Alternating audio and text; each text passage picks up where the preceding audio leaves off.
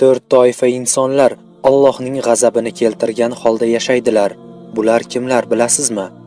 Birinchi toifa o'zlarini erkakka o'xshatgan ayollar. Ikkinchi toifa o'zlarini ayollarga o'xshatgan erkaklar.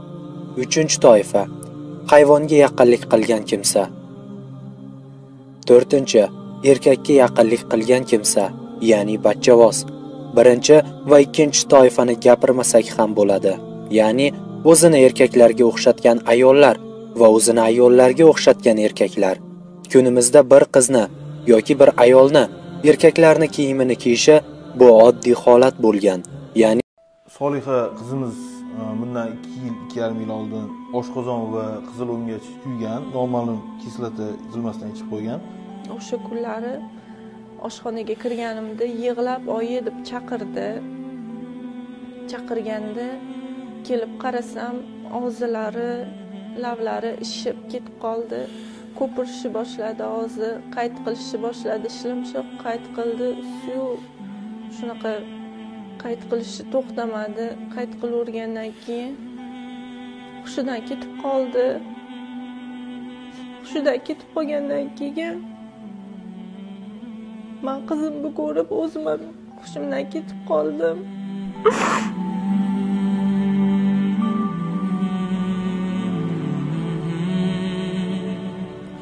Biza e, hozir qo'ldan kelgancha harakat qildik. Qo'limizdagi bor mol mulkimizni sotib tuzatishga harakat qildik. Doktorga olib bordik ko'rsatdik sampida davoladik. Uch marta operatsiya bo'ldi. Turkiyadan kelgan homiyla stent qo'ydi. Stenti неудачный chiqdi yaxshi chiqmadi. Qizimizni hozir zudlik bilan rossiya federatsiyasida davolatishimiz kerak. Ehm, chunki uni vaqti juda yam oz qolgan. Boshida har qirq kunda borib ovqat yeyish uchun bujlab kelinardi bu kamayib kamayib borib besh kunga tushib qoldi. Hozir har besh kunda olib borib ovqat yeyish uchun bujlab kelyotgandik endi oxirgi marta borganimizda mana burniga shlanka qo'yib beramiz. Bu oxirgisi endi bundan buyog'i rossiyaga olib borishingizga to'g'ri keladi deb tushuntirishdi. Endi hozir bizni muddatimiz oz qoldi.